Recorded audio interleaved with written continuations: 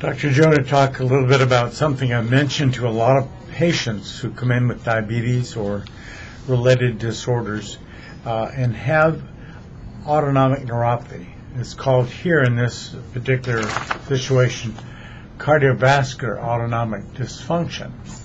And it predicts severe hypoglycemia in people with a type 2 diabetes.